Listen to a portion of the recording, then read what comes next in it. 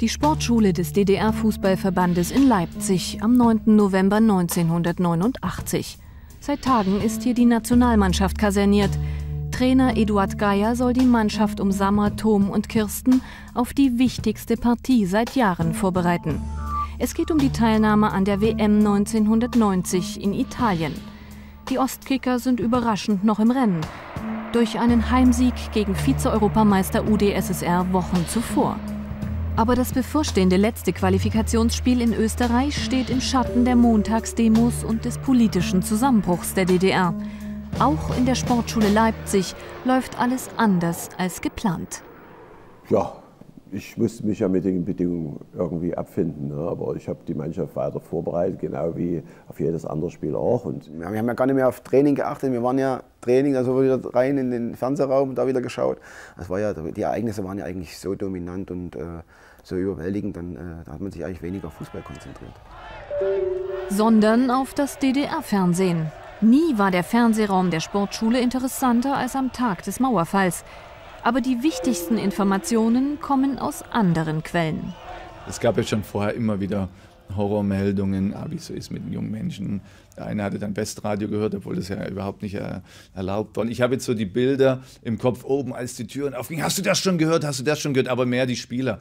Ein Trainer weiß ich jetzt gar nicht mehr so genau. Ja, klar, ist eine Art und Weise. Hier, konzentriert euch mal hier auf den Punkt und äh, das gibt's doch nicht. Das war eine Situation, die es eigentlich in der Welt noch nie gab. Ne? Man konnte das ja nicht irgendwie nachspielen oder irgendwie als, andere, als, als anderen Dingen irgendwie Schlüsse ziehen und daraus lernen. Ne? Es war eine ganz wirkliche Situation. Geier trainiert unbeirrt weiter.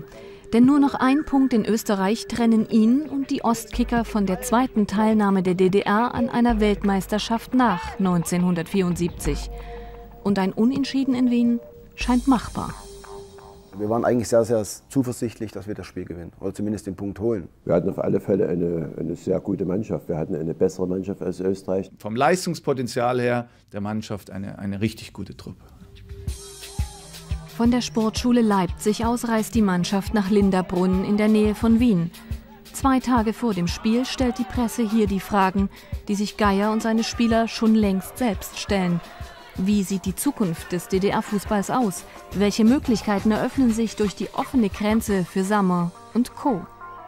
Ich habe völlig munter drauf losgeplaudert. Ja, klar, wenn ich irgendwann in der Bundesliga spielen kann, gehe ich dahin. Und äh, klar, mit ein bisschen Reife und, und wenn man ein bisschen vorbereitet gewesen wäre, hätte man dann gesagt: Okay, Sie können uns das alles nach dem Spiel fragen, auch jetzt zur persönlichen ähm, Situation. Jetzt konzentrieren wir uns auf das Spiel.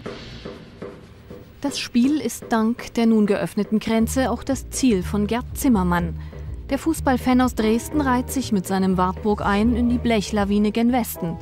Im Unterschied zu fast allen anderen DDR-Bürgern lockt ihn nicht das Begrüßungsgeld oder ein Verwandtschaftsbesuch in der Bundesrepublik. Er will zum Länderspiel nach Wien. Und wenn du im Nachhinein überlegst, dass du auf dieser Autobahn bei diesem wirklich Stoßstange an Stoßstange fahren, mit 80 Liter Sprit im netten Wartburg, der keine Knautschzone hat, durch die Gegend gefahren bist und es ist nicht passiert, dann kann man im Nachhinein sagen, hui, ohne nachzudenken, aber Wien musste sein, aber es ist alles gut Gleiches gilt für die 5000 anderen ostdeutschen Fans im ausverkauften Praterstadion. Erstmals dürfen und können sie ein Spiel der DDR-Auswahl im Westen live erleben und sind entsprechend beeindruckt. Ja, wir sind erst einmal erstaunt über dieses wunderbare Stadion, was so gut wie überdacht ist. Man hätte als alter Fußballer selber Lust mitzuspielen. Was erwartet ihr jetzt vom da? Ja, also wir tippen auf ein 1-1. Ich nehme an, dass unsere Mannschaft mit 2 zu 1 gewinnt.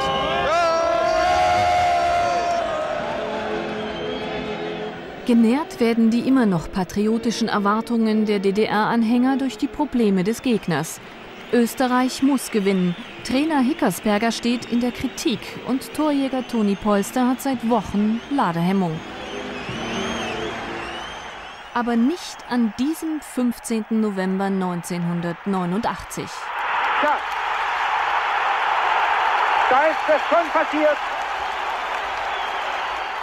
Ausgerechnet Polster dämpft nach nur zwei Minuten die großen WM-Hoffnungen der DDR-Kicker.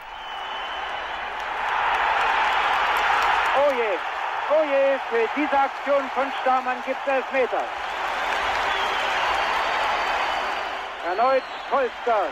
22 Minuten gespielt.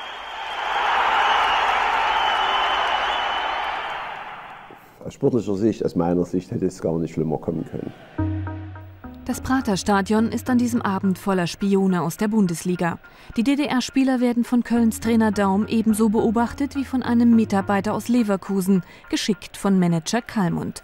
Alle wollen nur das eine, Kontakt mit Sammer und Co., am besten schon während des Spiels. Den DDR-Kickern mit West-TV-Erfahrung bleibt kaum Zeit, sich zu wundern.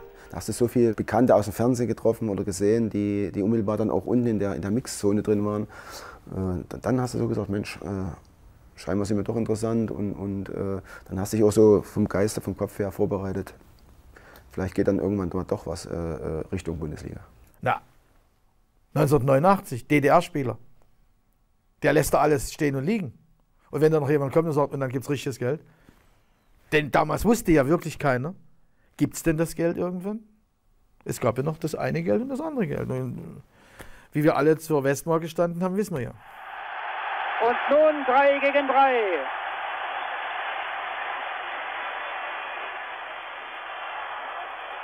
Polster kommt er wieder vorbei.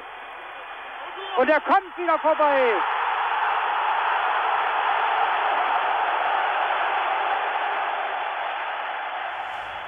Kam dann die Auswechslung meinerseits, ich glaube in der, in der 85. Minute rausgetorkelt da. Damals war ja noch die, diese Geschichte mit dem Kalli seiner, seiner rechten Hand, äh, dass der während des Spiels schon bei uns auf der, auf der, auf der Auswechselbank gesessen hat.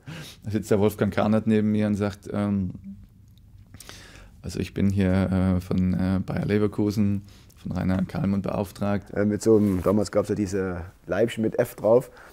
Weil da hinten ordnungsgemäß, da stehen die anderen Vereine und wenn sie dann aus der Mixzone äh, rausgehen, da werden sie sehen, da werden sie sie auch ansprechen. Aber denken Sie dran, Bayer Leverkusen, wir waren die Ersten und wir müssen uns heute Abend auch noch treffen und so. Ja, und ja, Kalli, clever. Es bleibt beim 3 zu 0 für Österreich, das somit zur Weltmeisterschaft nach Italien fahren darf. Während die Gewinner ihren Überraschungserfolg feiern, hadert DDR-Trainer Eduard Geier mit dem Schicksal und den außergewöhnlichen Rahmenbedingungen des Spiels. Bis heute. Aufgrund der Umstände hat man keine Chance. Und ich habe ja immer gesagt, die Mauer, die ist eben sechs, acht Wochen zu früh geöffnet worden. Grundsätzlich kein Ablenkungspotenzial, volle Konzentration. Dahin ähm, wäre uns das nicht passiert. Das, das stimmt, da hat er recht. So aber bleibt der Fußballwelt ein Kuriosum erspart, denn am selben Abend qualifiziert sich die Bundesrepublik mit einem Last-Minute-Sieg in Köln gegen Wales für die WM. Was wäre passiert, wenn in Italien zwei deutsche Teams gespielt hätten, nur wenige Wochen vor der Wiedervereinigung? Ich weiß gar nicht, wie man damit umgegangen wäre. Aus dem Grund habe ich auch gesagt, vielleicht war es gar nicht gewollt.